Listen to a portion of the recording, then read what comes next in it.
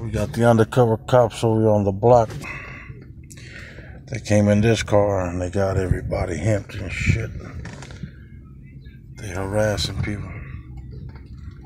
Oh, they doing their job, you know. We on some grown folk shit out here. South Sacramento.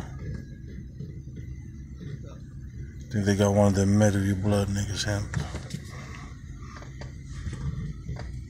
Here goes the cops right here. Yeah.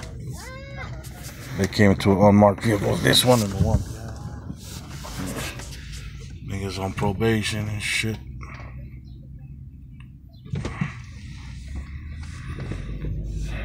Just barely getting started today. We out.